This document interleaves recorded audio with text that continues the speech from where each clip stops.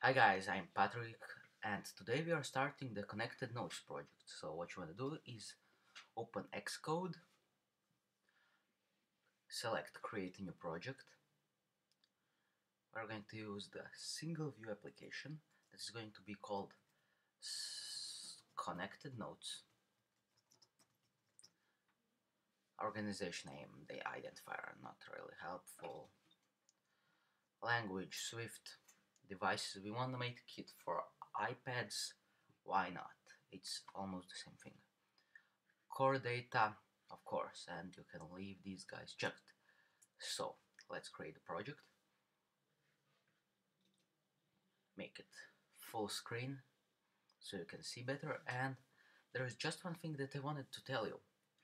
So I was gaining subscribers and views while I wasn't any doing any videos which is awesome. And thank you for that. So I really feel that you're enjoying the tutorials that I'm making and lessons.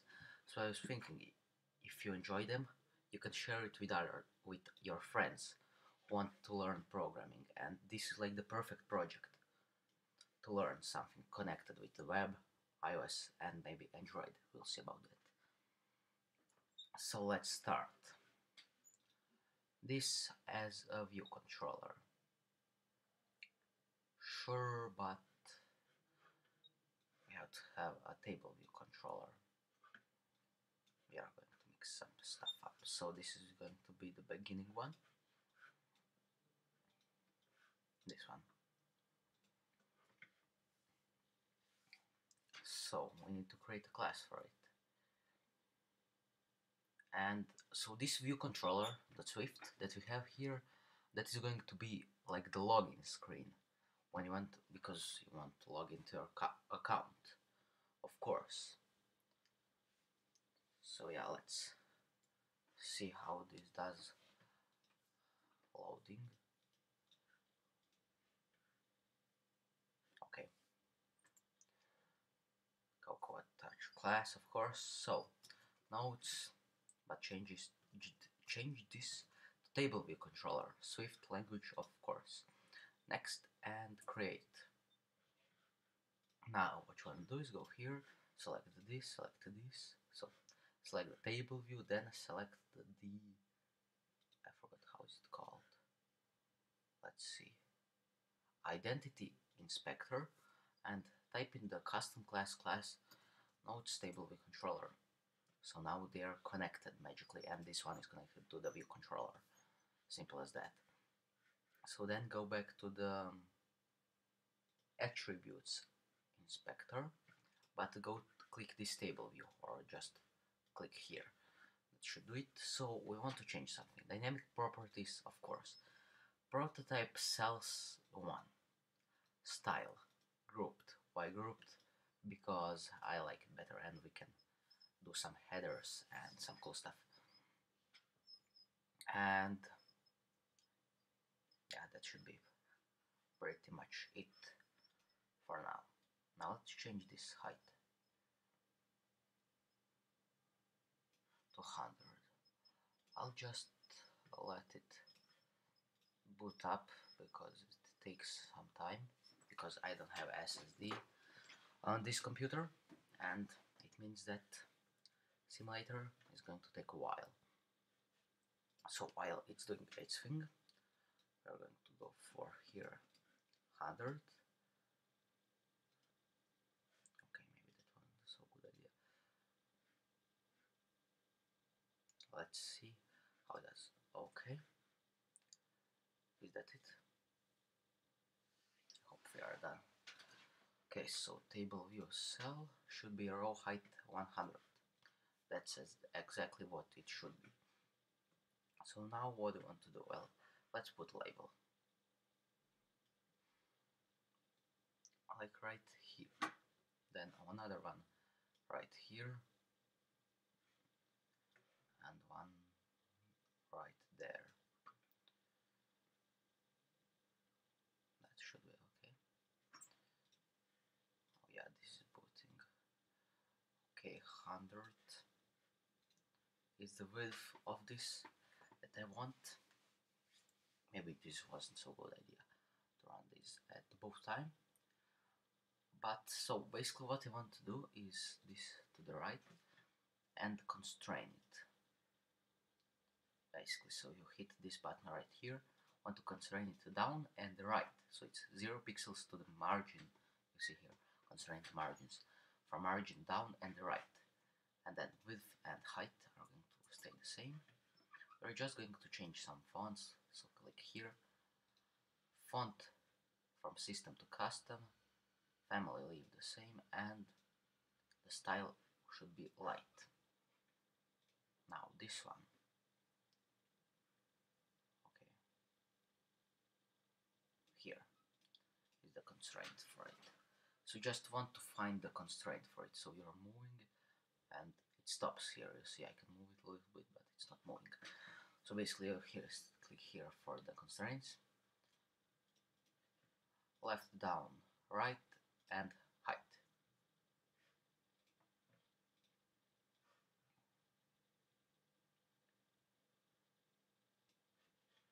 And here just constraint.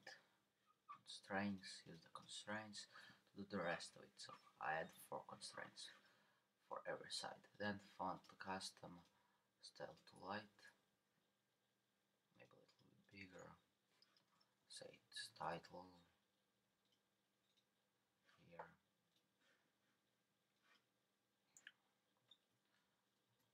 out, well that's not necessarily needed here but why not call it that way maybe some shared notes later. We'll see about that. So, and here, let's say time. So this is the time you changed it last time. So, what we need to do is create a class for this cell. So, what you want to do is create a new class. Here you can see the view load, registry, memory warning, number of sections, number of rows, and self row at index path. Is this done? Not yet. Okay, so self row at index path. Here we have to have that new class for the cell because there is no other way we can access its properties like that, those labels that we put. So table cell. So notes. Let's just call it like that. And now we have to go back to the storyboard again because we want to connect these two. So table view. Cell here to identity. Inspector if I'm right then type here notes table view cell. That's right. So now open this split view whatever it's called standard inspector, assistant inspector, open that up. Now, automatic what? See when I click the automatic, give me the something that I don't want. Let's click here maybe now. Nope.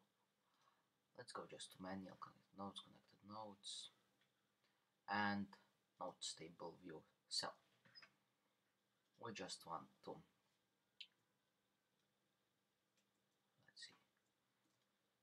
control drag them. Here or hold right click and drag it's the same thing. And it's wrong we need to go here. Okay that's right. So this is going to be called title label. Mm. that's already called like that. No title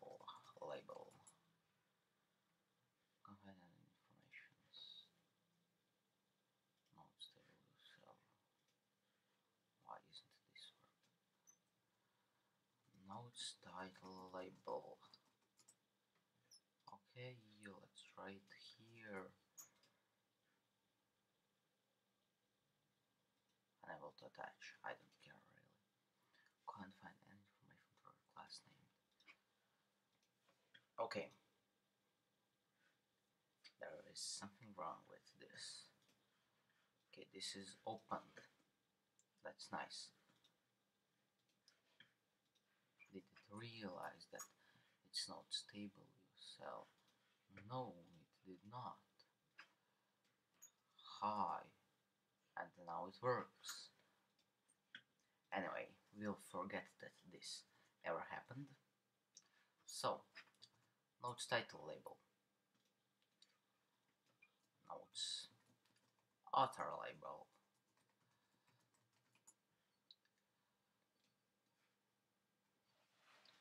And notes time label. That should be good. And now one more thing. Click on the notes table view cell on the attribute inspector and reuse identifier note cell and just copy that so it's in your clipboard so it's easier to use. So we should go back to this how's it called? I don't know. Just click here. Save these guys. Okay. So here this is going to be fun.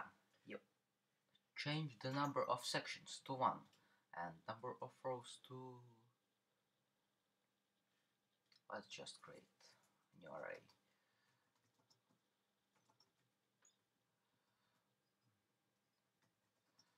titles hello hi hello hi um just note funny note joke fun um I don't know that's about it. I did it wrong. Hi funny joke fun that should be it. So here return the notes titles count. So the count it says right here the number of elements the array stores so this has five elements and this is going to return five. So we are going to have five rows in this table view. So the cell is going to be note cell. You just paste what you had in your clipboard but one thing different. As notes table view cell wow now we have to change some things. So cell index is equal to index path dot row. So index path is going to get you the rows section the actual which row is it in order? Okay. What's this explanation? So why am I doing this? And because you can understand it easier. So this is going to return in which row is it? Is the cell that it's requesting. We can also say section but we don't want that we want row so cell dot. Title label is equal to notes titles cell index now let's go notes titles. Let's go to Mike Patrick. I don't know. What can I say I don't know Felix Antonio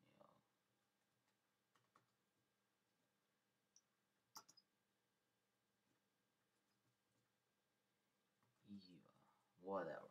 I don't have any right now. Not the notes titles, but notes authors. Okay. What's the problem?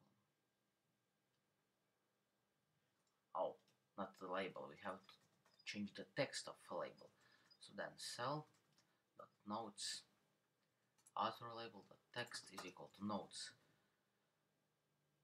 author cell index. Cell dot. Notes type time label. Dot text is equal to uh unknown. Let's just leave it as that. And let's, let's run it on our simulator. Later on we are going to be running it on my iPhone, that's going to be later. So yeah, let's wait for it. Okay, it should be running right now. It's already compiled. Okay, and we'll deal with the user interface styling and all of that in the live stream, but yeah. Okay. For some reason, when it's not moving, there is no separator, but I'm sure that's. Oh, I know why. Because this is zoomed, and it's one pixel, so when it's zoomed, it's not working like it should be. So you see everything is working fine. Even if I go to 75%, it should be working. No, it's not.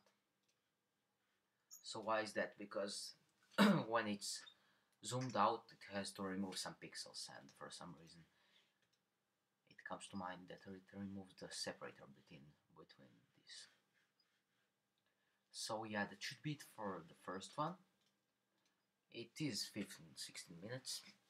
It's a lot, but well, we've done something. Custom cells. I think that's a pretty good thing. So yeah, I hope you enjoyed it, and if you did, make sure you subscribe and like. And don't forget to share it to other people so they can learn and tell them to subscribe so they can get notifications. So yeah, thanks for watching and I'll see you in the next one next week. Goodbye.